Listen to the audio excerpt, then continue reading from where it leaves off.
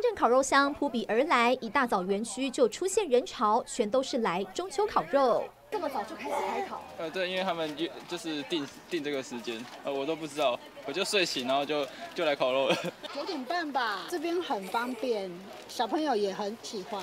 以往民众烤肉通常都选在晚上，但这处位于高雄桥头糖厂附近的烤肉区，早上八点就营业，民众把握休假日上午就冲烤肉。今年中秋节更有一千多人预约，园区有四人、六到八人的选择，只要预定就提供烤肉设备。食材等，民众也能自备肉品加菜，非常方便。有肉有鱼有都有啊，应有尽有，方便啊，不用整理啊。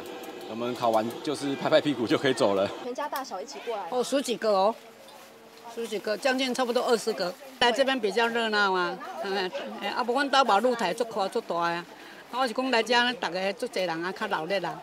不仅有二十人的大家庭聚会，还有公司行号也来这团聚烤肉。园区还规划空投油体验，民众早上来造土窑，中午正好能开吃。要堆窑，然后还要烧窑，大概要两个多钟头，那你食材才可以放进去。那放进去，你还要再焖，再焖个两个钟头。所以整个下来，如果你想要在一两点吃的话，那你就必须这个时候来。开放式的烤肉空间，因为没有夜间照明，只营业到下午五点，但业者采不限时方式，等于营业时段内爱烤多久就烤多久，让民众中秋节能好好享受团圆滋味。中秋节快乐！耶民事新闻刘颖纯、廖景雄，高雄市报道。